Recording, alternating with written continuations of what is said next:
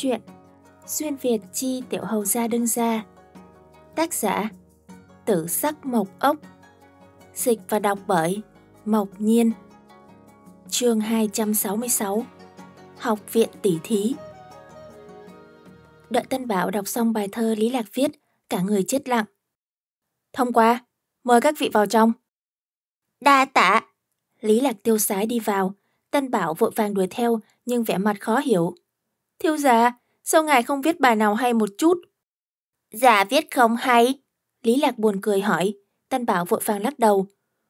Nô tài thấy bọn họ đọc xong thơ ngài viết, biểu tình chết lặng. Lý Lạc không viết bài thơ hay, chính là bài thơ vỡ lòng, ngỗng ngỗng ngỗng, người bình thường ai cũng biết, cho nên Tân Bảo đọc xong cũng trợn tròn mắt. Ngốc, đây là địa phương của người ta, chúng ta tới xem náo nhiệt, không phải đến tranh danh tiếng. Lý Lạc dạy dỗ. Thân phận nào làm việc nấy. Huống chi bọn họ còn mang theo đế lệnh, Tân Bảo đã hiểu. Tạ thiếu gia chỉ điểm. Đi thôi, vào xem đi. Nguyên bản, Lý Lạc không dự định nổi danh, chỉ tới xem náo nhiệt. Nào ngờ rằng xem náo nhiệt cũng không dễ dàng, mỗi khu vực có hoạt động bất đồng, nhưng để vào khu vực riêng biệt, ngươi phải đi qua các rào cản. Ví dụ như, khi mọi người mới tiến vào, khu vực đầu tiên là khu vực cơ bản, đoán chữ, thông qua mới có thể vào khu thứ hai. Thiếu giá, chúng ta tiếp tục chứ? Tân Bảo hỏi, Lý Lạc nhếch miệng. Đường nhẹ tiếp tục. Này thì đánh mặt, thật là đen đuổi. Người tới học viện Tô Hiền rất nhiều, khu đầu tiên đoán chữ, đoán chữ không khó, tuy nhiên có một quy tắc, chỉ lấy 100 người đầu tiên. Nói cách khác, người đến sau không có cơ hội tiến vào, mà bên này có nhiều câu đối cặp và giải đối chữ như vậy, làm sao có thể vượt qua? Đố cặp và giải đối chữ cộng lại trả lời 20 câu có thể thông qua. Kỳ thật, nếu Lý Lạc dựa theo suy nghĩ cổ đại mà viết thơ làm từ, hắn chắc chắn không thể. Nhưng Trung Hoa có 5.000 năm lịch sử, đường thi tống từ, tốt xấu gì cũng đã đọc qua, Đố cặp và giải đối chữ sao có thể làm khó Lý Lạc. Bọn họ đến gian hàng đối cặp, có 6 thư sinh đứng trong quầy, Lý Lạc nói. Cha chúng ta một cặp đối. Trước đây, mỗi lần tổ chức đại bỉ thí pháp, thường có đại nhân dẫn hài tử đi theo chơi, cho nên nhìn thấy Lý Lạc, bọn họ không quá để ý. Từ phía sau lấy ra một cặp, một cặp có hai thẻ gỗ, thư sinh đưa một thẻ gỗ cho Lý Lạc, nói Nếu đối được câu trên thẻ gỗ, người có một thẻ xanh, lấy được 20 thẻ xanh là thông qua, có thể tiến vào khu thứ hai. Cảm ơn. Vóc dáng Lý Lạc không đủ cao, tay không đủ dài, Tân Bảo cầm thẻ gỗ đưa cho Lý Lạc. Có nhiều gian hàng giống thế này, người tới tham gia rất nhiều, nếu chỉ có một gian thì quá chèn chúc, cho nên có rất nhiều gian. Lý Lạc nhìn thẻ gỗ, nội dung cường đối nhược, đúng đối sai, khai đối quan, dương đối âm. Cái này rất dễ, Lý Lạc nhếch miệng, gian xạo cười. Thẳng đối cong, trường đối đoạn, thầm đối thiện, ngạch đối mềm. Sau đó, hắn cảm thấy mình đối thật tốt. Đáng tiếc, người cổ đại bảo thủ, mọi người nghe không hiểu ý hắn nha. Đáng tiếc, thật là đáng tiếc. Tuy đáp án trong tấm thẻ thư sinh đang cầm không giống, nhưng vốn dĩ đố cặp có rất nhiều đáp án, cho nên thư sinh đưa cho Lý Lạc một tấm thẻ xanh. Lý Lạc nhờ Tân Bảo cầm thẻ. Thẻ một cặp. Thư sinh khó hiểu, không rõ tại sao sư huynh đứng bên cạnh cứ cười miết, tò mò hỏi. Sư huynh, ngươi cười cái gì? Ta cười đứa nhỏ này thật thú vị. Sư huynh mở miệng, y khác với thư sinh bình thường. Thư sinh bình thường văn nhã, còn y từ trên xuống dưới không có chút nào văn nhã. Ngược lại có chút điên cuồng, mày kiếm phi dương trong một nhóm thư sinh vô cùng đặc biệt. Tại sao thú vị? Thư sinh không rõ. Ta cảm thấy đứa nhỏ thật thông minh. Ngươi không hiểu. Sư huynh trả lời. Chỉ có đồng đạo mới hiểu. Là sao? Thư sinh tò mò vô cùng. Sư huynh nhớn mày, mỉm cười, tới gần tai thư sinh giải thích. Thẳng đối công, dựa theo luân thường, nam nữ yêu nhau là sự việc tồn tại từ khi trời sinh đất mở, tức là thắng Long dương chi hảo, tức là công. Tiểu huynh đệ của nam nhân có dài có ngắn, tức là trường đối đoạn. Thời điểm hoan ái có một thâm một thiện, cũng tương tự. Còn ngạch đối mềm... Đủ rồi! Thư sinh đẩy y ra, khuôn mặt xấu hổ đỏ bừng. Sư huynh, người... Sư huynh cười cười. Không phải tiểu hài tử, sao thẹn thùng như vậy? Nói xong, hai mắt nhìn chằm chằm Lý Lạc. Đứa nhỏ thật thú vị. Vừa rồi lúc đối câu, nhìn thấy ánh mắt nhóc con gian xảo sư huynh cảm thấy có ý nghĩa khác. cảm giác có người nhìn mình, Lý Lạc ngẩng đầu, kinh ngạc nhìn đối phương. Mặc dù đối phương mặc trang phục học viện, nhưng khí chất không giống. Hơn nữa, nụ cười của y hơi lưu manh. Đây là muốn làm gì? Lý Lạc nhìn một lần, không có vấn đề à? Cho nên, Lý Lạc nhận xét, người này có bệnh. Nội dung câu đối thứ hai, tiếng gió, tiếng nước, tiếng trùng, tiếng chim, tiếng tụng kinh, tổng cộng 360 ngày, tiếng chuông không dứt. Lý Lạc nhìn một hồi, lập tức đối. Nguyệt sắc, sơn sắc, thảo sắc, vân sắc, hà sắc, bốn vạn tám ngàn đỉnh núi, trùng trùng điệp điệp. Thư sinh ngạc nhiên. Ờ, tiểu bằng hữu, văn phòng thật sự rất tốt. Nói xong, lại đưa một tấm thẻ xanh cho Lý Lạc. Quá khen. Lý Lạc khó có dịp khiêm tốn. Không chỉ là tốt, là tuyệt vời. Vô cùng tuyệt vời, sư huynh mở miệng. Không biết tiểu bằng hữu xưng hô thế nào? Nếu Lý Lạc là hài tử đơn thuần, chắc chắn sẽ cảm thấy sư huynh như sói xám. Đáng tiếc Lý Lạc không phải, vì thế mở miệng. Hạ ngươi! Ngươi? Họ này hiếm, sư huynh lại hỏi. Tên thì sao? Cá bệnh. Sau đó mang theo hai thẻ xanh rời đi, thư sinh không hiểu ý Lý Lạc. Sư huynh, hai nói người có bệnh. Sư huynh chừng im một cái. Người mới có bệnh. Ngu ngốc, đọc sách quá nhiều, đầu óc hỏng luôn rồi. Thiếu gia, người kia... Rời khỏi gian hàng, Lý Trường Thành muốn nói lại thôi. Lý Lạc gật đầu. Ờ, không giống thư sinh bình thường, bộ dáng kiêu ngạo khí thế, nhưng không làm người ta chán ghét. Có cha không? Lý Trường Thành hỏi. Không cần. Lý Lạc không để ý. Không liên quan tới chúng ta. Hôm nay tới chơi, chờ ngụy sinh điều tra tình huống, chúng ta giải quyết xong rồi rời đi. Học viện là chỗ ngọa hổ tàng long, học viện có nhân tài, quốc gia mới có hy vọng. Thiếu gia nói đúng. Đối với Lý Trường Thành mà nói, Lý Lạc, Lý Lạc nói cái gì là cái đó. Lý Lạc nhìn về phía hộ bộ chủ sự. Ta nhớ rõ người xuất thân từ khoa cử. Chủ sự của các bộ là quan lục phẩm. Lý Lạc đã xem qua tư liệu quan viên hộ bộ. Người này xuất thân từ khoa cử, tiến sĩ cập đệ, năm nay 25, quan lục phẩm, ở hộ bộ có môi trường tăng tiến khá tốt. Hồi thiếu gia, đúng vậy. Chuyến đi này, Lý Lạc là thiếu gia, Tân Bảo là tiểu tư, Lý Trường Thành là hộ vệ, y là quản gia. Đối với Lý Lạc, y tương đối bội phục, thời điểm chưa quen biết, thành danh Lý Tiểu Hầu Gia rộng khắp, những quan viên xuất thân thanh bần phi thường kính trọng Lý Tiểu Hầu Gia. Bởi vì những hành động đối với binh lính biên quan khiến mọi người cảm động. Hơn nữa hiện tại còn sửa đổi thuế đinh và thuế điền. Đối với bá tánh mà nói là người vô cùng lương thiện. Trước đây bá tánh thường dân không biết hoàng đế là người thế nào, chỉ biết huyện Thái Gia tốt hay xấu, bởi vì trời cao, hoàng đế xa. Nhưng từ khi cải cách thuế, bá tánh nghèo khổ, hết lời ca tụng hoàng đế. Dân chúng thuần phát, đương nhiên không biết thuế đinh và thuế điền là Lý Tiểu Hầu Gia đề xuất, sửa chữa. Nhưng mệnh quan triều đình ai cũng biết. Có lẽ thế gia giàu có không quá để ý một chút tiền, nhưng đối với quan viên thanh bần mà nói, sự thay đổi này khắc sâu vào lòng bọn họ. Mà y là thanh bần. Nói thật, lần này Hoàng thượng để Lý Tiểu Hầu ra đi tuần phủ thực sự khiến toàn bộ quan viên trong triều kinh ngạc. Bởi vì mặc dù Lý Tiểu Hầu gia làm được rất nhiều việc, nhưng không ai xem trọng hai từ 7 tuổi có thể làm cái gì. Hộ bộ chủ sự không rõ tại sao Lý Tiểu Hầu gia mang theo y, nhưng có thể đi theo Lý Tiểu Hầu gia, y rất cao hứng. Vậy đối cặp và giải đối kế tiếp ra cho người. Lý Lạc nói. Tiến sĩ cặp đệ, đối phó cầu đối và giải đố hẳn là dễ như trở bàn tay. Thuộc hạ nhất định không để thiếu gia thất vọng. Không lâu sau, hộ bộ chủ sự thu về 18 thẻ xanh còn thiếu, sau đó cả nhóm tới khu thứ hai. Tiến vào khu thứ hai, nộp 20 thẻ xanh có thể đi vào. Khu thứ nhất tỷ thí văn học, khu thứ hai tỷ thí hội họa. Nói đến họa, Lý Trường Thành không có năng khiếu, Tân Bảo thì không cần trông cậy. Lý Lạc lắc đầu, cuối cùng ba người nhìn về phía hộ bộ chủ sự. Hộ bộ chủ sự nói, thuộc hạ bất tài, nhưng vẫn có thể, có thể họa một bức.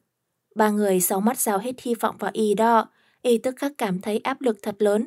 Kỳ thật, y họa không quá tệ, tuy rằng xuất thân thanh bần, nhưng trong nhà không quá nghèo, cuộc sống hàng ngày trôi qua êm ả, đi học cần cái gì, phụ mẫu chưa bao giờ để y chịu thiệt. Trong bốn thứ cầm kỳ thi họa, chỉ có họa là y cảm thấy hứng thú. Cầm là nhạc cụ, không thể học nhạc giỏi nếu không có nhạc sư giỏi.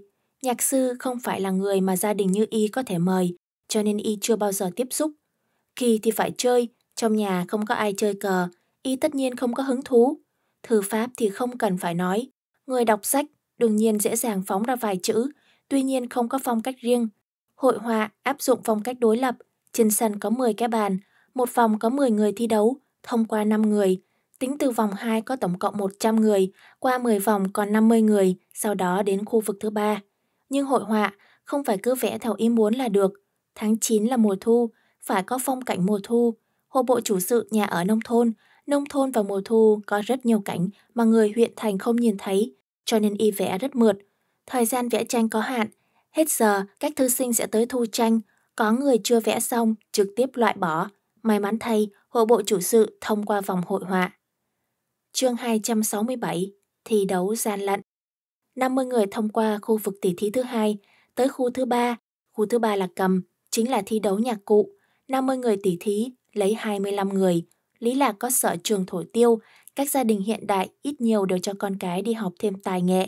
Trong khu thi đấu, 5 người một tổ, mỗi tổ chỉ chọn một người thông qua.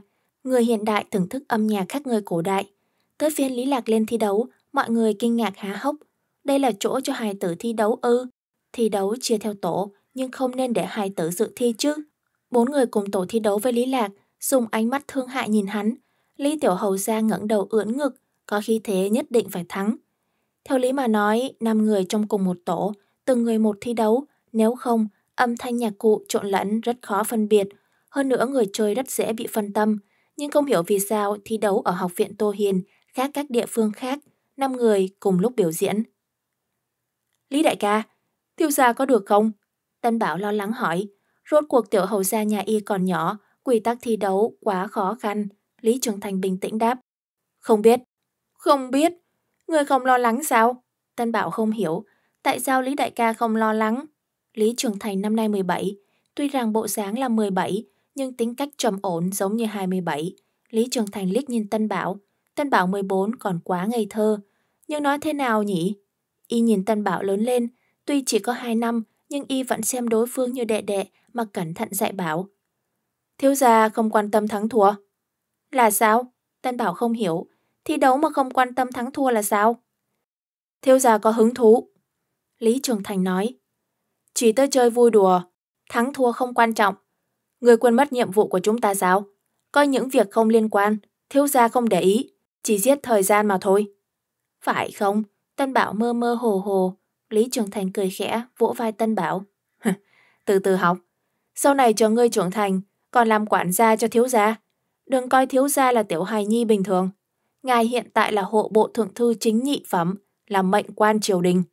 So với chúng ta, trung quy là bất đồng. Tân Bảo cái hiểu cái không, lại có chút lý giải. Thiếu gia không phải tiểu hài tử, là đại nhân, là người làm đại sự. Hộ bộ chủ sự nghe có chút ngoài ý muốn nhìn Lý Trường Thành một cái. Lý hộ vệ cũng coi như quan mới trong triều. Phụ thân là nhị phẩm tổng chỉ huy ngũ thành binh mã. Y là tứ phẩm thị vệ, còn được hoàng thượng ban thưởng kiếm. Thanh kiếm này là năm đó Thái tử Yến chế tạo cho hoàng thượng. Đây là vinh dự cỡ nào chứ? Lại nhìn đứa nhỏ trên đấu trường, hộ bộ chủ sự nhiệt huyết sôi trào. Chủ tử thế nào, cấp dưới sẽ thế ấy. Lý thị vệ hiểu biết Lý Tiểu Hầu gia, hơn nữa không hề do dự tín nhiệm, cũng không đơn giản.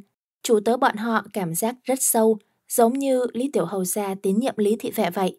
Trong lòng Lý Trường Thành, Lý Lạc không chỉ là chủ tử. Năm đó Lý Trường Thành 15 tuổi, Lý Lạc 5 tuổi. Loại tranh lệch tuổi tác này giống như huynh đệ, cũng giống như phụ tử. Thi đấu bắt đầu, âm thanh năm loại nhạc cụ vang lên cùng lúc. Tổng cộng có 5 vị giám khảo, người chơi có nhiều phiếu bầu nhất sẽ chiến thắng. Không ai nghĩ Lý Lạc sẽ thắng.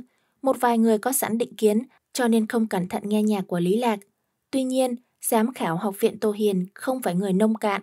Thi đấu kết thúc, Lý Lạc được hai phiếu, một người khác giành hai phiếu, một người một phiếu.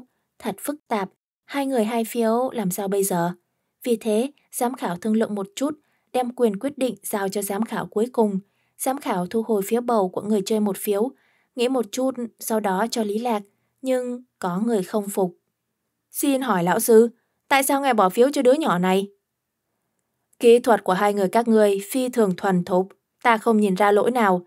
Nhưng đồng dạng, âm nhạc của hai người các ngươi không có cảm xúc. Đây là lý do ta bỏ phiếu cho người kia. Kỹ thuật của người kia không bằng hai người các ngươi, nhưng âm nhạc có tình cảm. Tuy nhiên, giữa hai người các ngươi, ta lựa chọn đứa nhỏ này, bởi vì hắn nhỏ tuổi. Ở tuổi này, có loại kỹ thuật này, quả thực làm cho người ta ngoài ý muốn. Cho dù ta ở tuổi này cũng không có thành tựu như vậy. Giám khảo trung thực trả lời. Ta chắc chắn, người ở tuổi này kỹ thuật không thể so. Người chơi vẻ mặt cứng đờ, không có gì để nói. Y nhìn Lý Lạc, hừ một tiếng, sau đó rời đi. Lý Lạc nhíu mày, thái độ thế này khó mà thành tài. Đà tạ lão sư. Hắn mỉm cười cảm ơn, không kiêu ngạo, không xiểm nịnh, có thể thấy khí độ. Trong trận tỷ thí thứ ba, sau khi 5 người chiến thắng liền tiến vào khu vực 4, bởi vì thi đấu tổng hợp cho nên khu vực 4 thi đấu bắn tên, Lý Lạc chiêu Lý Trường Thành. Cản tưởng anh Hồng không có đất rộng võ, lần này có cơ hội. Năm người thi đấu bắn cung, chọn ba, tiền thưởng bày sẵn. Kỳ thật, người tham gia cuộc thi đều chuẩn bị trước, tự động chọn đối tác phù hợp trong các trận thi đấu tổ hợp, giống như đội ngũ Lý Lạc, chính là vận khí tốt. Có người bách bộ xuyên dương, Lý Trường Thành không có cơ hội thử. Lúc ấy, 10 mũi tên phải bắn trúng hồng tâm, Lý Trường Thành làm được. Bất quá bốn người thi đấu còn lại, cũng có người làm được. Người đầu tiên tiến lên thi đấu, 10 mũi tên, 8 mũi trúng hồng tâm, hảo bản lĩnh. Người thứ hai tiến lên thi đấu, 10 mũi tên, 10 mũi trúng hồng tâm, mọi người sợ ngây người. Người thứ ba tiến lên thi đấu, 10 mũi tên, 7 mũi trúng hồng tâm, mọi người thở dài, không có gì phải xem. Lý Lạc hỏi người bên cạnh. Vị tiểu ca này, bà phần thưởng đầu tiên có gì đặc biệt không? Thư sinh nói. Phần thưởng nhất định là khác nhau, nhưng ta không biết là cái gì là do học viện chuẩn bị. Thì ra là thế, Lý Lạc lớn tiếng hô. Trường Thành, lấy đệ nhất. Hắn đột nhiên hô lớn, làm mọi người giật mình, nhất thời tất cả ánh mắt nhìn về phía hắn. Lý Lạc vờ như không thấy, Lý Trường Thành nghe được, hướng Lý Lạc khom lưng. Thiếu gia yên tâm. Y trả lời, mọi người vỡ lẽ thì ra là chủ tớ, muốn lấy đệ nhất. Mơ tưởng. Người thứ tư tiến lên thi đấu, y nhìn Lý Trường Thành liếc mắt một cái, ánh mắt cực kỳ kiêu ngạo. Tiểu tử, có ta ở đây, đừng mong lấy đệ nhất. Ánh mắt kiêu ngạo chưa tính, còn nói chuyện càn rỡ. Sau đó y bắn ba mũi tên lấy cảm hứng trước. Vòng cuối cùng bốn mũi tên, toàn bộ trúng hồng tâm, hảo bản lĩnh. Toàn trường lặng ngắt như tờ. Đừng nói những người khác cảm thấy y lợi hại, ngay cả Lý Lạc cũng cảm thấy y lợi hại. Thiếu gia, người này thật lợi hại. Tân Bảo tim đập thình thịch. Nô tài rất lo cho Lý đại ca. Đừng nói Tân Bảo, ngay cả hộ bộ chủ sự cũng vậy. Tuy Lý Lạc đánh giá Lý Trường Thành xuất sắc, nhưng rốt cuộc còn trẻ, hộ bộ chủ sự chưa từng chân chính chứng kiến bản lĩnh của y, cho nên cũng lo lắng. Đừng lo, Trường Thành sẽ được. Lý Lạc nói, người khác chưa từng thấy tiễn thuật của Lý Trường Thành, Lý Lạc đã kiến thức qua, tài bắn cung lợi hại, nhưng bắn súng thì không được, loạn thất bát tao. Lý Trường Thành nhếch khóe miệng, khinh thường cười. Ta từ khi sinh ra, chưa bao giờ bị gọi là tiểu tử. Ngươi là người đầu tiên đấy. Tuy rằng lúc mới sinh ra, phụ thân y đi theo Lý Húc chỉ có ngũ phẩm thị vệ, nhưng Lý Húc là tâm phúc của chiếu ninh đế, mặt mũi của phụ thân y tự nhiên cũng không nhỏ. Hơn nữa Lý Trường Thành là người khiêm tốn. Ngày thường, ngoại trừ luyện võ ở phủ tướng quân, chính là ở học đường của phủ tướng quân. Hôm nay thiếu gia nhà y muốn y lấy đệ nhất, y nhất định phải lấy đệ nhất. Y rút ra một miếng khăn lụa, trực tiếp bịt mắt. Mọi người nhìn thấy hành động của y, trong lòng thầm nghĩ, không phải người này muốn thắng đến phát điền đấy chứ. Lý, Lý đại ca bịt mắt. Tân Bảo vừa khẩn trương vừa hưng phấn, làm sao đấy Lý Lạc hai tay ôm ngực, rất muốn nã pháo chúc mừng. Giống như hắn, tam tiễn. Lý Trường Thành nói với người bên cạnh. Thư sinh bên cạnh đưa cho y ba mũi tên, tam tiễn dẫn dắt, trúng ngay hồng tâm. Wow, toàn trường sôi sục. Tiếp theo, lại là tam tiễn, một lần nữa chính giữa hồng tâm. Cuối cùng là bốn mũi tên, nhưng trong bốn mũi tên có một mũi tên trúng hồng tâm nhưng chạch qua một bên, mọi người đều cảm thấy đáng tiếc. Mua danh chuộc tiếng, làm bộ làm tịch. Người thứ tư nói, không phải muốn lấy đệ nhất sao? Bằng người. Lý Lạc đi vào đấu tràng. Bảng hắn. Tiểu hai tử muốn làm gì? Chẳng lẽ không giành đệ nhất nên muốn khóc? lấy đệ nhất cũng không sao. Tiểu hai tử thổi tiêu không tệ, bộ dáng cũng đẹp. Các người đừng trêu chọc tiểu hài nhi nhà người ta. Tiểu bằng hữu, chỗ này không phải chỗ của người. Người thứ tư liếc mắt nhìn hắn, thư sinh cũng lên tiếng. Đúng vậy, mời tiểu bằng hữu đi lên đi. Lý Lạc mỉm cười nhìn thư sinh, lại nói với ban giám khảo. Y gian lận. Chỉ vào người thứ tư, giọng nói chắc nịch. Giám khảo kinh ngạc. Y gian lận thế nào? Không thể nào, Y là học sinh trong học viện chúng ta. Ngươi đừng có vũ nhục học viện chúng ta. Đúng, sư huynh văn võ song toàn, sao có thể gian lận? Tiểu bằng hữu, nên chấp nhận thua cuộc, tuổi nhỏ không nên như vậy. Lý Lạc không để ý đến lời nói của mọi người. Ta nhìn thấy, vừa rồi y dùng kim đánh lệch một mũi tên. Miệng đầy dối trá. Người thứ tư tên là Thôi Phong, là một trong những người giỏi nhất học viện Tô Hiền. Nghe Lý Lạc nói như vậy, Thôi Phong tiến lên, hai tay bế Lý Lạc. Tiểu bằng hữu, nếu ngươi muốn đệ nhất, ca ca nhường cho ngươi cũng không sao, nhưng đổ lỗi cho người khác là không đúng. Hai tay nâng nách Lý Lạc, phảng phất tùy thời sẽ buông ra, hai mắt nhìn Lý Lạc, lộ ra uy hiếp và tàn nhẫn. Lớn mặt! Lý Trường Thành một cước nhảy về phía Thôi Phong. Thôi Phong lui về phía sau. Trong lúc y lui ra, Lý Trường Thành từ trong tay tiếp nhận Lý Lạc. Thiếu gia không sao chứ? Cảm cái gì đáng ngại? Lý Lạc nói. Bắt lấy y. Vâng. Lý Trường Thành và Thôi Phong động thủ trước mặt mọi người. Chỗ này là học viện Tô Hiền. Các ngươi muốn gây sự. Một vài thư sinh biết võ công nhảy lên đấu tràng. Chương 268 Thần phận đối phương Lý Lạc mỉm cười nói. Mọi người đừng lo, ta tất nhiên sẽ tìm ra chứng cứ, chứng minh y gian lận. Nói xong, Lý Lạc đi về phía bia ngắm. Quản ngươi có chứng cứ hay không chứng cứ, đến học viện ta quấy rối chứ là không được. Mọi người lên. Có một thư sinh nổi danh quát lên. Lý Lạc dừng bước chân. Từ trong miệng to mọ nghe nói, học sinh học viện Tô Hiền chính trực siêng năng, các bọn phạt. Thật không ngờ lúc trột dạ, một lời không hợp là động thủ. Tô mộ. Một vài thư sinh biết võ công dừng tay. Tô mộ xuất thân từ học viện Tô Hiền là thứ nhất. Thứ hai, y là con cháu Tô Gia. Thứ ba, y là đương kim trạng nguyên. Tiểu hài tử biết Tô mộ. Lại nhìn Lý Lạc, quần áo tinh tế hoa lệ, toàn thân quý khí bức người, tùy tùng bên cạnh võ công cao cường, vừa nhìn là biết con cháu thế gia, mà Tô Mộ ở kinh thành không thiếu người xưng y một tiếng Tô đại nhân, nhưng hài tử gọi thẳng bằng tên Tô Mộ, từ kinh thành tới. Người nhận thức Tô Sư Huynh? Có thư sinh hỏi. Lý Lạc ngạo nghễ nói. Gặp biết, y tới nhà ta bái phỏng thì gặp. Tô mộ tới nhà hắn bái phỏng. Quả nhiên, thân phận đứa nhỏ này không bình thường. Thế xử lý sao đây?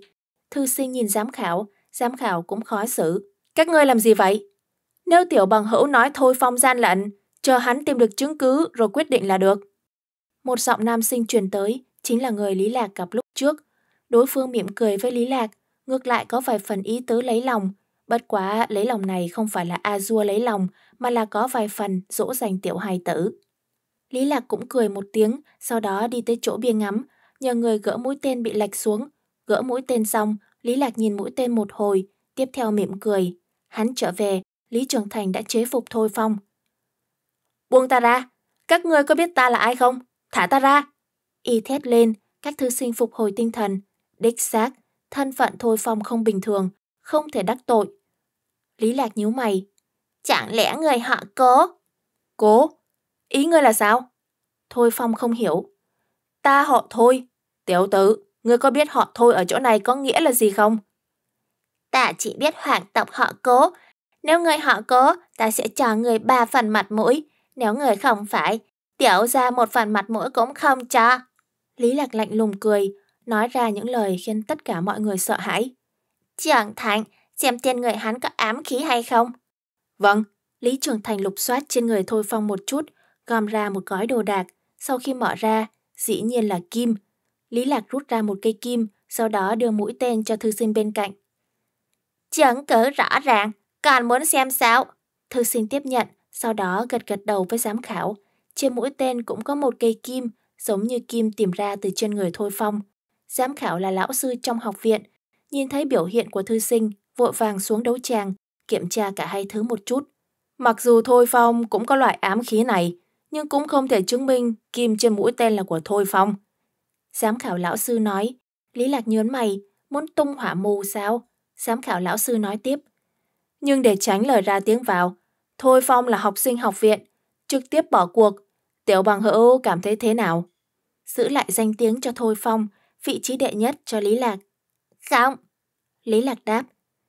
Gian lận là gian lận, hành động tiểu nhân, giữ thể diện cho y làm gì? Huống chỉ vừa rồi trách móc họ vệ của ta, còn tưởng động thủ với ta. Nói xong, Lý Lạc đi tới trước mặt Thôi Phong.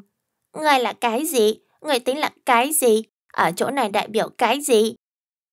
Tiểu bằng hữu, giám khảo lão sư lên tiếng, giọng nói vẫn ôn hòa. Bất quá chỉ là một trận đấu. Mọi người vui vẻ mà thôi, không cần tính toán. Nếu hôm nay ta cũng Thôi Phong trao đổi thân phận, gian lận là ta, người xử lý thế nào? Lý Lạc hỏi ngược lại. Giám khảo lão sư nhíu mày. Nếu Thôi Phong là học sinh bình thường, hành vi này khẳng định khai trừ, nhưng thân phận Thôi Phong không bình thường, khai trừ không được. Vậy người muốn thế nào? Giám khảo lão sư hỏi. Đương nhiên là xin lỗi, thừa nhận sai lầm. Lý Lạc nói. Xin lỗi thế nào? Giám khảo lão sư hỏi tiếp. Lý Lạc nhìn xung quanh đấu tràng. Xin lỗi ở đây, thừa nhận sai lầm của mình. Có hàng trăm thí sinh ở đây, cộng thêm học sinh của học viện. Bắt Thôi Phong xin lỗi, Thôi Phong khẳng định không chịu. Tính cách Thôi Phong ngạo mạn, tự nhận là thế gia nhất đẳng. Lý Lạc đánh mặt y như vậy, y nhất định không bỏ qua, giám khảo lão sư khó xử. Thôi Phong hừ một tiếng để Lý Trường Thành ra, tới trước mặt Lý Lạc, một tay xách cổ áo Lý Lạc lên, vừa rút kiếm, kiếm trong tay Thôi Phong bị chặn. Dám tiến về phía trước, chặt đứt tay người.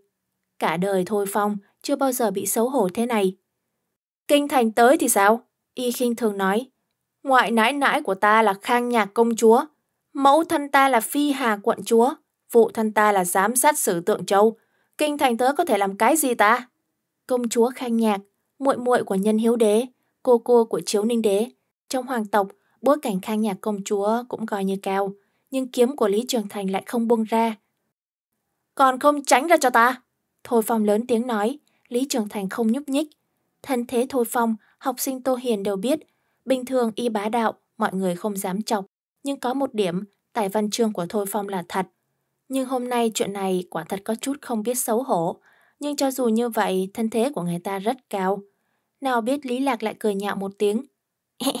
Nhà đợn giám sát sự tượng châu là người cương trực, ghét a dua nịnh hót. Nhìn dáng vẻ này, tin đồn cũng chỉ là tin đồn, có thể dạy ra đứa nhi tử không màng lẽ nghĩa liêm sĩ bậc này, lão tử cũng chẳng ra gì. Bốp bốp bốp, những chàng pháo tay vang lên, Lý Lạc nhìn qua, lại là tên đục nước béo cò kia. Tiểu bằng hữu nói rất đúng, y giơ ngón tay cái về phía Lý Lạc. Lão tử đích xác không tốt, cho nên tiểu tử cũng không tốt. Câm miệng lại. Thôi Phong hướng y nói. Thôi dư, đừng quên ngươi cũng họ thôi. Tuy là thứ tử không có mặt mũi, nhưng vẫn là họ thôi. Nguyên lai, cái người chạm mặt Lý Lạc ở gian hàng đối chữ gọi là Thôi Dư. Thôi Dư? Dư thừa? Lý Lạc hỏi. Tiểu bằng hữu nói rất đúng, ta chính là đồ dư thừa của Thôi gia, gọi là Thôi Dư. Thôi Dư cười. Đã dư thừa, loại lão tử này không cần cũng được. Lý Lạc sững sốt, Thôi Dư này làm cho người ta rất ngoài ý muốn. Cảm giác được Lý Lạc đánh giá, Thôi Dư để mặc hắn đánh giá. Tiện nhân!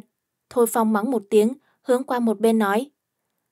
Các người đứng đó làm gì? Bắt bọn họ cho ta. Thân phận Thôi Phong ở học viện tuy rằng là học sinh, nhưng Phi Hà quận chúa lo lắng cho y, cho nên phái vài võ phu đến bảo vệ y. Ngày thường không ai dám đánh mặt Thôi Phong, nhưng võ phu này cũng không có chỗ dùng. Hôm nay nhóm Lý Lạc đụng vào họng súng của Thôi Phong. Được Thôi Phong phân phó, võ phu lập tức xông lên, tổng cộng bốn người. Chỉ là bốn người, sao có thể làm khó Lý Trường Thành? Lý đại ca, ta đến bảo vệ thiếu gia. Tân bằng ngo ngoe rục rịch chắn trước mặt bốn người. Y tốt xấu gì cũng học được công phu hai năm, hộ viện bình thường của người ta sao nhanh nhẹn bằng y. Tuy nhiên, võ phu phi hà quận chúa phái tới bảo vệ nhi tử, sao có thể là hộ viện bình thường. Công phu phòng thân đương nhiên có, cho nên lập tức đánh ngã Tân Bảo. Lý Trường Thành thở dài, tung cước đã thôi phong sang một bên, sau đó ngăn cản võ phu, bằng không Tân Bảo sẽ ăn khổ. Phốc phốc, một cước của Lý Trường Thành không nhẹ, Thôi Phong chảy máu. Võ công Thôi Phong kỳ thật cũng được, nhưng căn bản không có cách nào so sánh với Lý Trường Thành. Sở trường của y là kim châm. Lúc nãy lấy kim định đánh lén Lý Trường Thành, phía sau lưng Lý Trường Thành giống như có mắt. Kiếm khí phản nghịch, kim cùng kiếm va chạm, phát ra thanh âm rất nhỏ. Sau đó kim bay ngược về hướng Thôi Phong, trực tiếp đâm vào cánh tay y. À! Thôi Phong kêu to, một trận đại bỉ thí pháp cứ như vậy kết thúc. Giải tán tất cả mọi người. Lãnh đạo học viện nghe tiếng gió đi tới, hộ vệ học viện vây quanh. Học viện Tô Hiền nổi danh gần xa, trong học viện đương nhiên có hộ vệ. Đi mời đại phu, mau mời đại phu trong viện tới. Đi thông báo cho thôi ra. Tình hình này, học viện không có ý định cho mình rời đi. Lý Lạc không sợ bọn họ, còn muốn nhìn xem học viện an bài thế nào. Hờ, sợ sao? Thôi Dư đi tới bên cạnh Lý Lạc. Người thôi ra, đem Thôi Phong che chở dưới mí mắt. Người đối xử Thôi Phong như vậy, bọn họ khẳng định sẽ không bỏ qua cho người. Lý Lạc cười nói. Vậy ta nên làm sao bây giờ? Cầu ngươi bảo vệ. Thôi Dư nhún vai. ta không có bản lĩnh này. Chuyện hôm nay, Thôi Phong khẳng định cáo trạng ta. Ta ăn còn không hết. Thế, Thôi ra sẽ trừng phạt người thế nào? Lý Lạc hỏi. Từ đường Thôi ra, đánh mông, hình phạt gì cũng có. Thôi Dư nói, có vẻ không thèm để ý, nhưng thanh âm lạnh nhạt, tuyệt nhiên không hề đơn giản như vậy. Lý Lạc nhìn Thôi Dư, bộ dạng cương nghị, hai mắt sáng ngời hữu thần, so với Thôi Phong tốt hơn không biết bao nhiêu. Người Thôi ra sao lại không có ánh mắt như vậy? Nhưng nghĩ lại, người ta là quận chúa sinh ra, ngoại nãi nãi là công chúa, Thôi Dư là tiểu thiếp sinh, đương nhiên không thể so sánh được. Không nuôi người tới tàn phế, còn tốt. Lý Lạc đột nhiên nói như vậy, Thôi Dư chấn động. Người thật sự không giống tiểu hài tử. Ta thông minh tuyệt đỉnh. Lý Lạc nói. Người thật sự không biết xấu hổ. Thôi Dư chưa từng gặp hài tử nào không biết xấu hổ như vậy. Tùy ý, cuồng ngạo, kiêu ngạo, nhưng là làm người ta có hảo cảm. Thật ra, bọn họ cũng muốn nuôi ta tàn phế. Đột nhiên, y phun ra một câu. Ai tới học viện gây sự? Một người nam tử trung niên bước tới, hỏi giám khảo lão sư. Thôi Dư đứng bên cạnh Lý Lạc nhắc nhở. Ông ta là phó viện trưởng học viện chúng ta, là cử nhân, nhân phẩm không tốt lắm, thủ đoạn ngược lại không tệ, tài hoa cũng có thể. Đà tạ nhắc nhở. Lý Lạc nói, giám khảo lão sư đem chuyện vừa rồi nói cho phó viện trưởng. Đương nhiên, giám khảo lão sư từng thuật trung thực không thiên vị ai, thông báo luôn cả chuyện thôi phong gian lận. Về phần phó viện trưởng muốn giúp ai, không phải là vấn đề của bọn họ. Giám khảo lão sư chỉ muốn tẩy trắng bản thân sạch sẽ. Chương 269 Quận chúa bị vả mặt Phó viện trưởng nghe giám khảo lão sư nói, đại khái là hiểu rõ, y tự nhiên tin tưởng giám khảo lão sư. Rốt cuộc người trong học viện đều là người nhà, nhưng tin là một chuyện, không thể đánh mặt thôi phong. Tuy nhiên, nghe giám khảo lão sư nói, người này nhận thức tô mộ, học viện này của tô gia, y không thể không cẩn thận.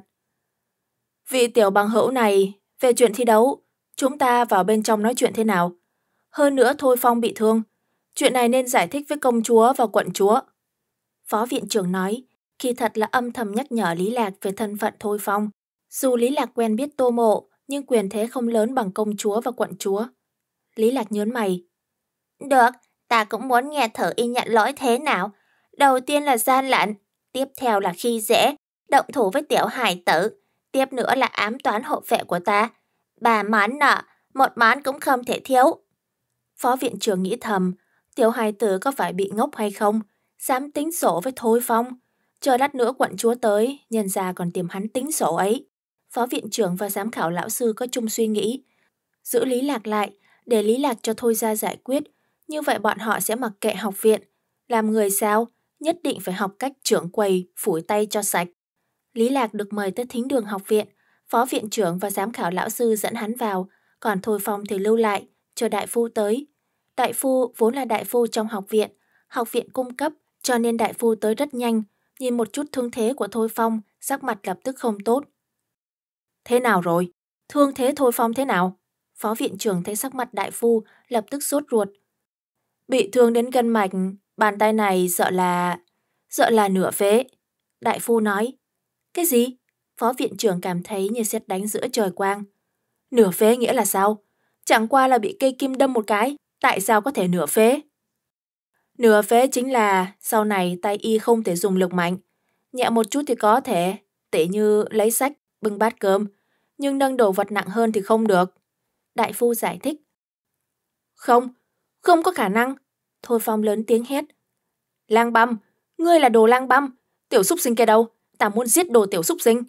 Thôi dư chưa đi, ở lại hóng tin tức, nghe thấy tay Thôi Phong coi như nửa phế, y cực kỳ hứng thú, vội vàng phấn chấn đi tìm Lý Lạc báo tin.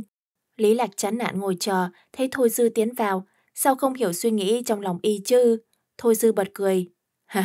Tay trái thu phòng bị phế rồi. Không thể nâng đồ nặng, chỉ có thể lấy đồ vật nhẹ. Y ngồi vào bên cạnh Lý Lạc nói. Lý Lạc nhìn bộ dáng y sung sướng, nói. Không phải người sướng rồi sao? Thôi dư nghe thế, không phủ nhận. Đúng vậy, ta vừa muốn chết, nhưng mà ngươi xui xẻo rồi. Mẫu thân y sẽ không bỏ qua cho ngươi.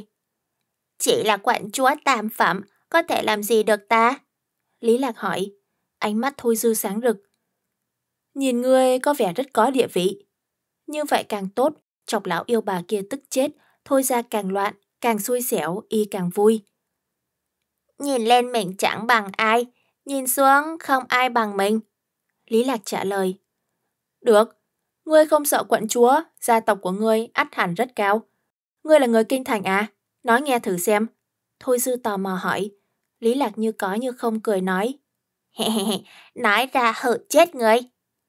Ta mà bị hù chết đã chết từ lâu rồi. Không tới mức chờ tới hôm nay mới bị hù chết. Thôi dư nói. Người này... Lý là cảm thấy nói về da mặt dày, phỏng chừng không ai so bằng vị này. Ai làm con ta bị thương? Dám đả thương con cháu hoàng thất, thật là to gan. Một thanh âm uy nghiêm truyền đến, nữ nhân vận y phục sang quý đi vào, bên cạnh đi theo hai mama, tỷ nữ, còn có thị vệ. Đầu tiên nhìn về phía Thôi Dư. Tại sao ngươi ở đây? Còn ta bị thương như vậy, có phải ngươi dọa trò hay không? Thôi Dư vội vàng quỳ xuống. Bái kiến quận chúa. Hồi quận chúa, không liên quan gì tới ta. Ta tới thay đại ca xin lỗi, thỉnh tiểu bằng hữu này tha thứ. Đại ca gian lận là sai.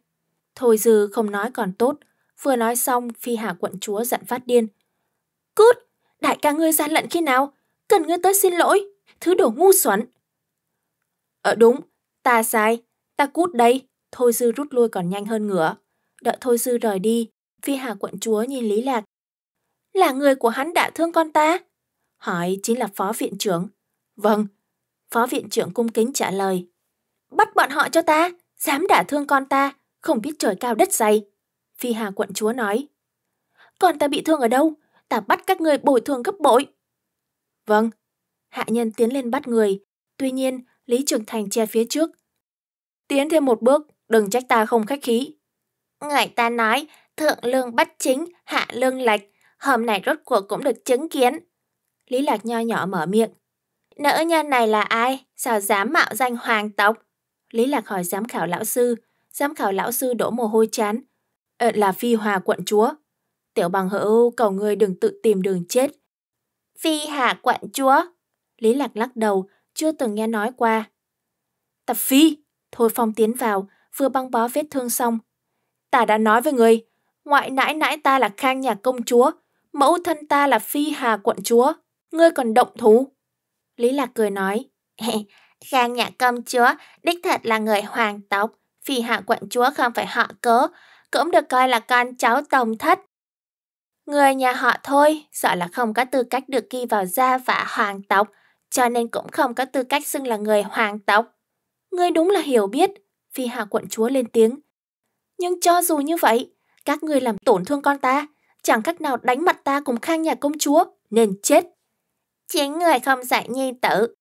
Lý Lạc nói, nhi tử người thi đấu gian lận, bị ta tìm được chứng cứ, có lỗi còn chưa tính, hết lần này tới lần khác còn muốn ra tay đả thương người, không biết tự lượng sức. Người ta thường nói, còn mất dạy, lỗi của cha, muốn trách thì trách các ngươi làm cha mẹ không biết giáo dục nhi tử. Ngươi đồ tiểu lưu manh, miệng mồm nhanh nhảu đấy. Phi Hà quận chúa giận quá hóa cười. Bắt nó! Vâng, thị vệ một lần nữa tiến lên. Lý Lạc không sợ. Ta từng gặp quận chúa rồi, nhưng không y phong như người. Phi Hà quận chúa nghe xong, nhịn không được châm chọc. Quận chúa trong gia phả hiện nay không nhiều lắm. Bản quận chúa ngược lại tò mò. Ngươi còn gặp qua quận chúa nào? Cái gì gia phả, ta không biết. Nhưng đường tẩu của ta cũng là quận chúa, lại không tệ như ngươi. Lý Lạc giả vờ là hài tử vô tội, chỉ trích phi hà quận chúa đã hư còn nói đương nhiên. Phó viện trưởng hoảng sợ, đường tẩu của đứa nhỏ này cũng là quận chúa. Đứa nhỏ này lai lịch không nhỏ nha, thôi dư trốn ở cửa nghe lén cũng ngoài ý muốn. Y nhìn ra đứa nhỏ kiêu ngạo không đơn giản, nhưng không nghĩ tới trong nhà cũng có hoàng thân quốc thích. Nhưng cho dù trong nhà có hoàng thân quốc thích thì như thế nào, khang nhạc công chúa là ngoại nãi nãi của Thôi phòng đó. Phi Hà quận chúa nheo mắt, sao bà không nghe ra ý tứ của đứa nhỏ chứ? Vốn dĩ cho rằng là hài tử quan viên, không ngờ trong nhà có đường tẩu là quận chúa. Tuy nhiên, mặc kệ hắn thế nào, tay trái của nhi tự mình chẳng khác nào bị phế một nửa. Bà đau lòng muốn chết, đó chính là con trai bà, đứa con duy nhất. Bổn quận chúa muốn nhìn thử, đường tẩu nhà ngươi là quận chúa nào? Đáng để ngươi càn rỡ. Mẫu thân bà là khang nhà công chúa, chiếu ninh đế là biểu ca của bà. Nói thật, bà không thấy có quận chúa nào có thể so sánh với bà. Thuần hòa quận chúa. Lý Lạc nói, thuần hòa quận chúa. Phi Hà quận chúa trong lòng căng thẳng. Thuần hòa quận chúa, con gái của Thuần Dương Vương. Nói đến Thuần Dương Vương, mẫu thân cũng phải cho vài phần mặt mũi. Tuy bà không sống ở Kinh Thành, nhưng vẫn biết Thuần Hòa quận chúa gả cho Lý Gia Kinh Thành, Trung Quốc công thế tử. Người là người Trung Quốc công phủ. Bất quá chỉ là một quốc công phủ không có quyền thế. Hơn nữa luận theo bối phận, Thuần Dương Vương chẳng lẽ có thể ra mặt vì hắn. Phi Hà quận chúa cười lạnh, thật sự là không tự lượng sức. Ta không phải người Trung Quốc công phủ.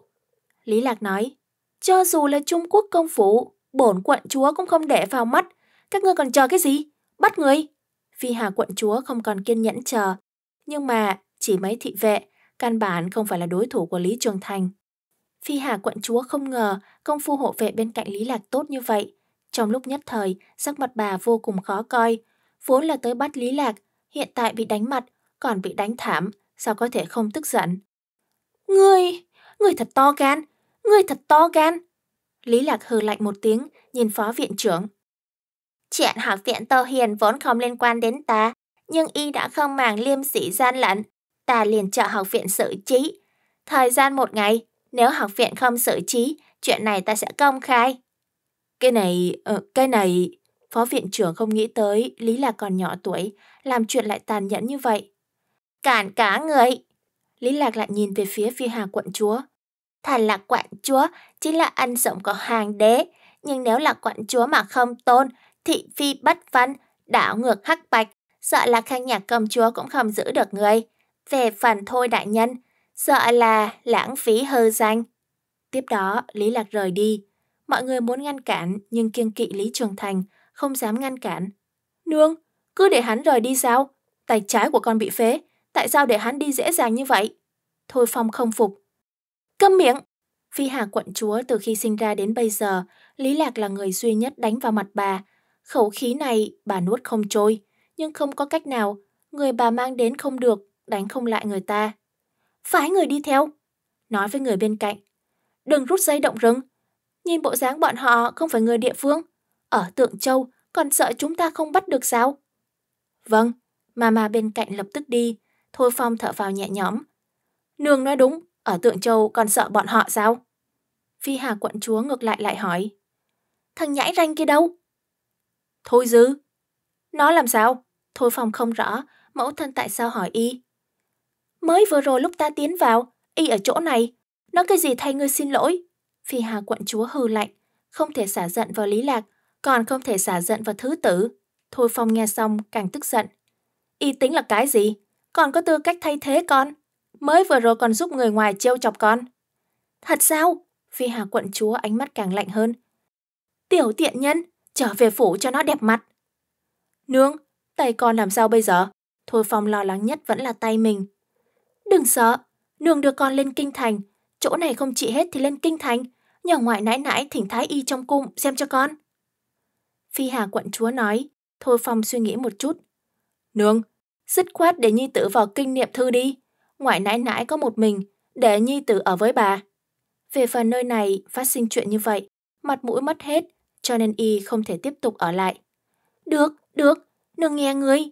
Phi Hà quận chúa chỉ có một nhi tử, không có nữ nhi. Từ nhỏ nhi tử nói cái gì chính là cái đó. Còn thôi dư trong miệng bọn họ đã sớm đuổi theo Lý Lạc rồi. Tiểu bằng hữu, vị tiểu bằng hữu này. Sau khi rời khỏi học viện, thôi dư lớn tiếng kêu. Tiểu bằng hữu. Lý Lạc dừng bước, nhíu mày nhìn y. Cả việc gì? Thôi dư hắc hắc cười nói. Các người kế tiếp đi đâu vậy? Ngươi định ở đây mấy ngày?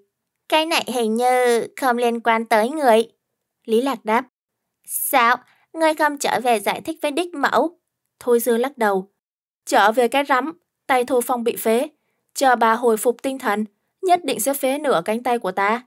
Ta không muốn ở lại chỗ này. Thế thì liên quan gì đến ta? Lý Lạc hỏi. Ta tính toán du sơn ngoạn thủy, chúng ta làm bạn. Thôi dư nghĩ, một mình một mẫu không biết đi đâu, không bằng đi theo tiểu bằng hữu, đi đâu cũng được. Hơn nữa nhìn tiểu bằng hữu này tự hồ rất có bản lĩnh, so với mình không có mục đích tốt hơn. Lý Lạc vốn định cự tuyệt, nhưng nghĩ đến cái gì đó đồng ý. Cũng được, ta đang thiếu một gã sai vặt. Thôi dư cảm thấy làm gã sai vặt cũng không sao. Dù sao ở thôi ra, y không khác gì gã sai vặt. Cũng không có khả năng đi theo người ta mà bắt người ta hầu hạ mình như thiếu gia chứ. Mặt y chưa dày tới mức độ đó. Vậy khi nào chúng ta khởi hành? Chúng ta sẽ đi đâu tiếp theo? Ở chỗ này còn có một số việc. Lý Lạc nói, ta có một câu muốn hỏi người. Mời nói, Thôi Dư tương đối khách khí. Ta nghe nói danh tiếng Thôi Đại Nhân không tệ, đối nhân xử thế đáng giá thưởng thức. Làm sao có thể dạy một đứa nhi tử như vậy? Lý Lạc hỏi. Ông cũng không tệ lắm, nhưng bị thê quản nghiêm. Trong nhà cái gì cũng là quận chúa làm chủ. Thôi Dư nói. Thôi Phong là trưởng tử, có chút kiêu ngạo là bình thường. Người nghĩ thoáng đấy. Đích tử cùng thứ tử, một chữ khác nhau để chết người. Đây là thời cổ đại. Với tính cách nữ nhàn kia, người có thể bình an lớn lên, quả thực ngoài ý muốn. Nghe nói là lúc sinh Thôi Phong, bụng bà rất đau, không muốn sinh nữa, cho nên không ngăn cản cha ta nạp thiếp. Thứ tử thứ nữ bà không xuống tay. Bất quá đối với thứ tử thứ nữ vô cùng hà khắc. Hơn nữa bà ta là quận chúa, thôi ra tất cả đều là của Thôi Phong. Bà sợ cái gì? Thôi Dư nói. Bất quá thiếp thất của cha ta không biết cạnh tranh mang bụng. Ông có ba tiểu thiếp, chỉ có di nương ta sinh một đứa con trai. Những người khác đều là nữ nhi, năm nữ nhi. Chương 270 Hai nhi tử, năm nữ nhi, rất biết sinh. Vì hạ quận chúa gạ thấp, giả thế thôi ra không đơn giản. Lý Lạc nói, Nguyên quán thôi ra ở Tượng Châu, tổ phụ ta nguyên là lễ bộ thượng thư, phụ thân là đích tử, cho nên quận chúa mới cả thấp. Sau đó tổ phụ qua đời, thôi ra chuyển về Tượng Châu. Phụ thân hết hiếu kỳ, nhậm chức ở Tượng Châu, sau đó từng bước đi lên, tới chức giám sát xử. Mấy tin tức này là công khai, Thôi Dư không cần giấu giếm.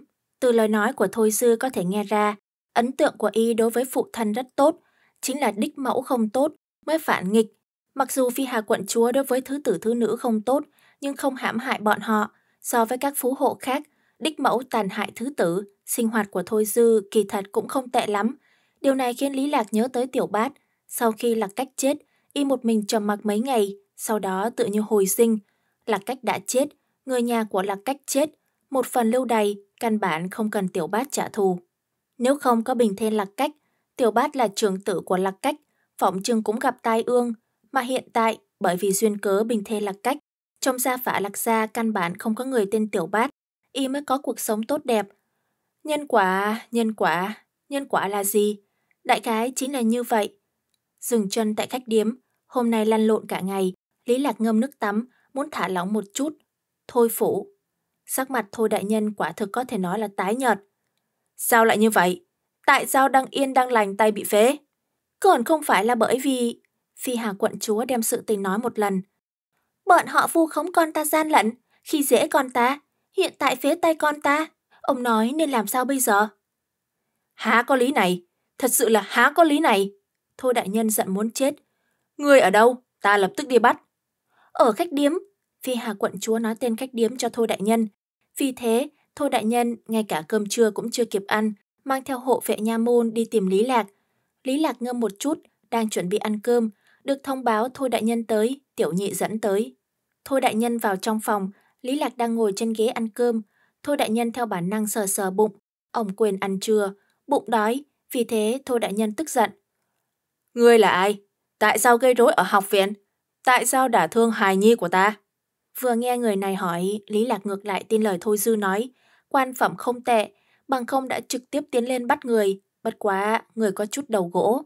Người như vậy, phi hà quận chúa vì sao lại coi trọng? Tướng mạo tốt.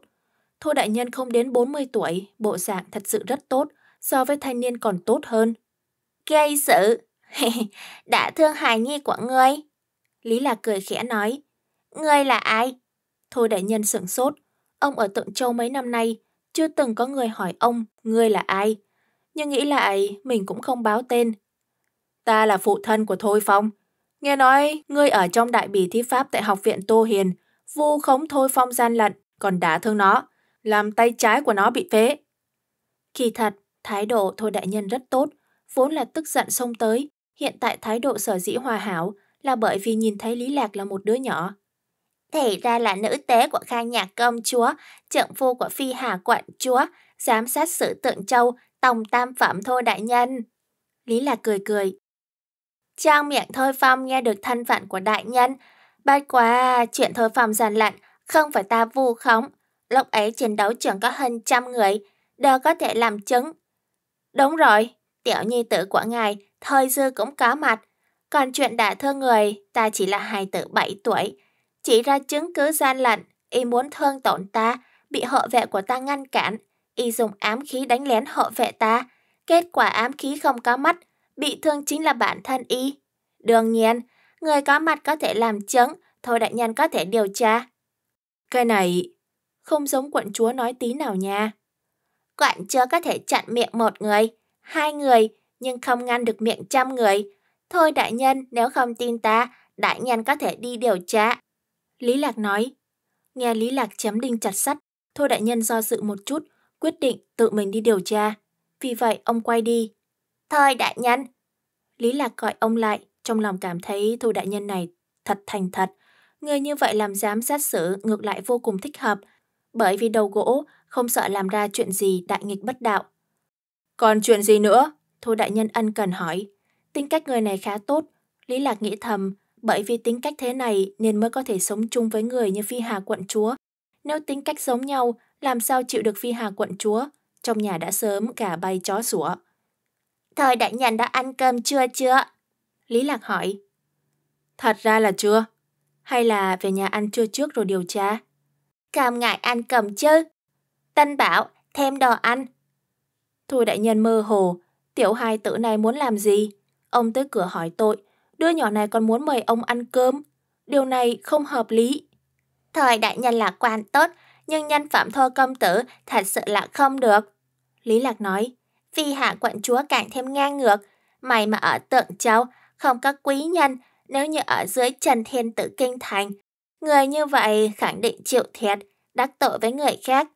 Nói đến phi hà quận chúa này, Thôi Đại Nhân đồng ý, nhưng nói đến nhi tử, Thôi Đại Nhân không đồng ý.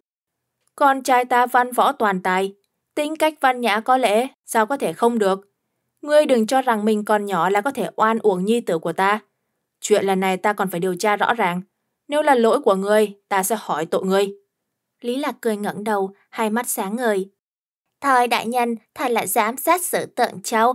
Chuyện trong nhà tích cực như vậy, chuyện tượng châu tại sao không tích cực điều tra chân tướng? Ý người là sao? Thôi đại nhân nhíu mày. Huyện Y Ninh, huyện Cát Tường, huyện Tân Sa, dưới sự quản lý của tượng châu, thuế năm trước và năm nay chưa giao nộp. Thôi đại nhân làm giám sát sự tượng châu, có phải nên chịu trách nhiệm hay không? Lý Lạc hỏi. Thôi đại nhân trong lòng lục bộp, đứa nhỏ này sao ngay cả chuyện triều đình cũng biết. Ngươi là ai?